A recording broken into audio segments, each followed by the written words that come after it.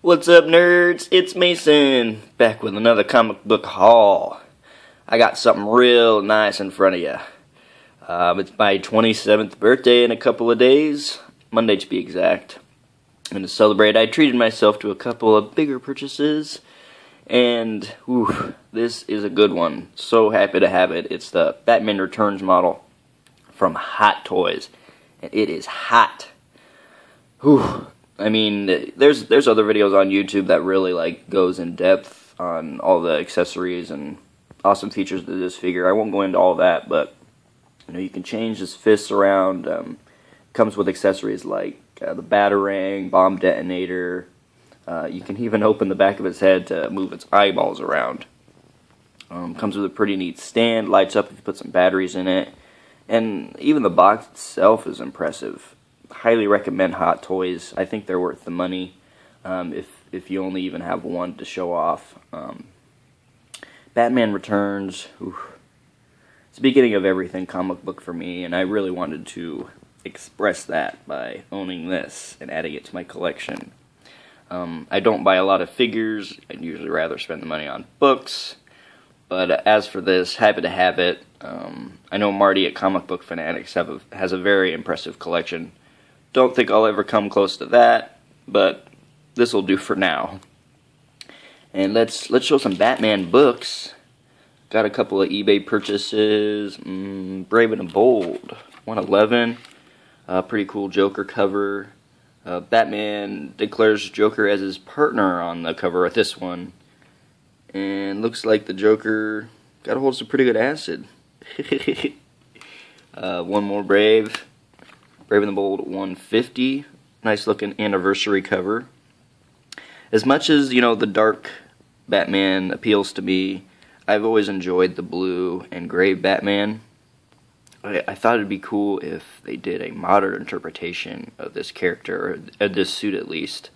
I, I just, I feel like I can imagine this sweet, like, blue rubber cowl and a, like a well-defined um, gray suit, maybe more technological probably a lighter plot. You know, the villains are more comedic. I don't know if it's like a childish kind of movie, but you know, if they want to change it up a bit, maybe in the next 25 or 50 years, it'd be cool to see what they did with that, you know, to pay homage to Adam West. Uh, one more Batman book. Another Joker Joker cover, Batman 186. Uh, actually got this at an auction a couple weeks ago auctions around here have been pretty lame, but I can come away with something cool every once in a while. Uh, and then this series has been pretty cool. Uh, Deadpool Back in Black. I got one of the variants. I didn't catch too much of the Venom various vi virus, Venom variant virus. Oof. And uh, but uh, this one was uh, pretty cool. I like the cover swipe to Amazing Spider-Man 316. Uh, it's been a good read. Um, I do like the Tyler Kirkham art, but don't really want to spend 40 or $50 on it. I'm happy to have this one. Da -da -da More Deadpool. As I've said before, I'm trying to complete the 97 run of Deadpool. Pretty close, so I picked up this set. It's the Funeral for a Freak arc, so it'd be number 61. And this is the second issue of that three, and four. So that set was an eBay purchase. It was like 23 bucks shipped. Really happy with that. And then my local had a 50% off sale, and I dug this one out. Deadpool 67. Now, these, like the last five issues, are a little bit more pricier. I, I try my best to get these issues under ten dollars. That's just kind of like my goal for a price point. Um, but these last five, I mean, even when they're on auction, uh, they tend to go higher than what I'm trying to steal them for. So I'm kind of trying to come to terms with the fact I might have to pay a little bit more. But uh, they are really cool covers, especially 65. So hopefully that'll be in my next video. I know I need 65, 66, 68, and 69. I need Baby's first Deadpool book. I need the Encyclopedia Deadpoolica. Um, I think I need a few others, and then I will consider that run complete.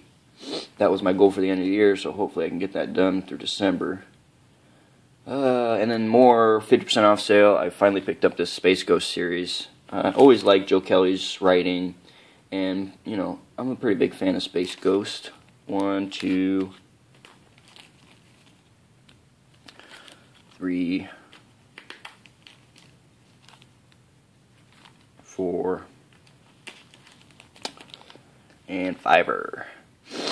Um, I, I, read Future Quest right now. It's been pretty good. It's not entirely Space Ghost centered, but he, he, finally came back in the most recent issue, so I'm excited to see where they take it. I was at the shop and I was saying how I'd love to see Space Ghost have his own comic, and this other guy was like, Space Ghost could never hold his own series. And I was like pouting about it for a minute, and I don't know, maybe he's right, but I can't be the only Space Ghost fan. Uh, maybe he's better as a television character, I don't know. I just don't see enough of him. Uh, what else I got? Ooh, since we all love The Walking Dead, I hope. I don't know.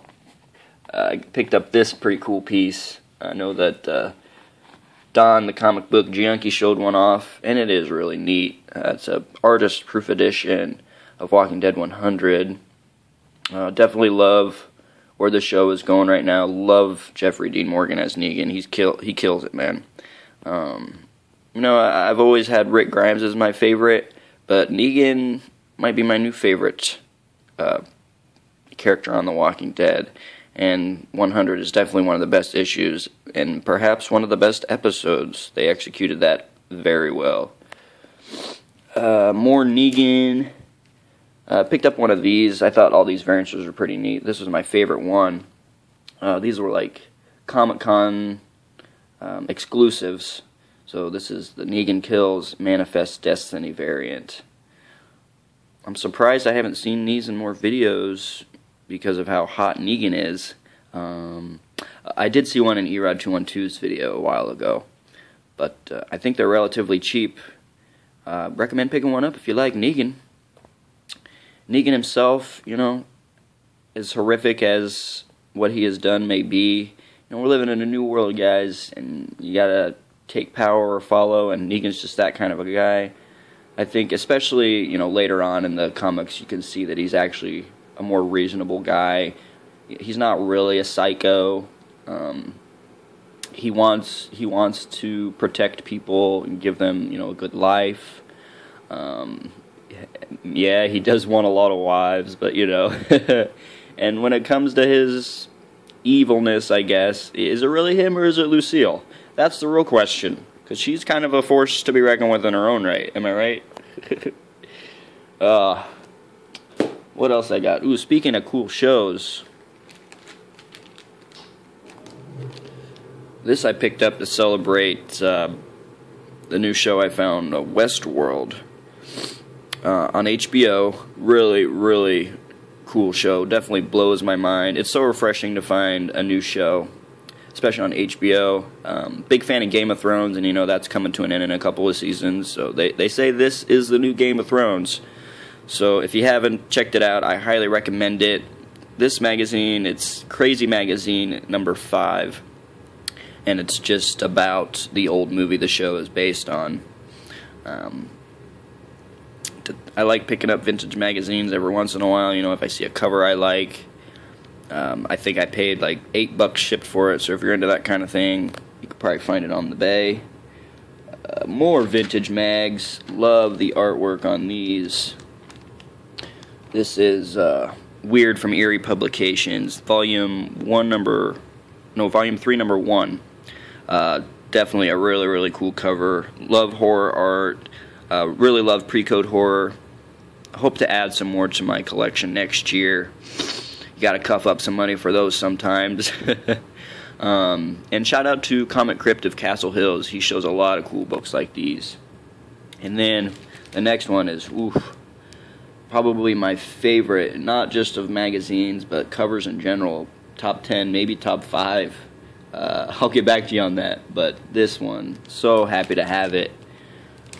Ah, it's the meat grinder. Look at that. So tasty. This book, it's a Weird Volume 3, number 5. very hard to find, especially in a good grade. And I actually bought this on the CGC boards from a really, really awesome guy. Uh, his username was uh, Bounty underscore Coder. I picked up um, a Vampire Tales magazine from him last summer and showed it off. Every couple times a year, he'll do a sale on the board, selling off you know horror magazines and other cool stuff. Um, if you're into that kind of thing, you know if you're looking for something that's hard to find, you could definitely hit him up. And you could tell him that I sent you because um, he loves uh, selling books like these to people and sharing his collection. Uh, right, another CGC board purchase, another rare book that I'm happy to have. Oh yeah, can finally be part of the Milk and Cheese First Print, print Club. Um, you know, and this was like it came up when I was really trying to save money, you know, for some birthday purchases, and that always seems to happen to me. You know, you're saving money, and you know something comes up, and you're like, well, do I pull the trigger or not?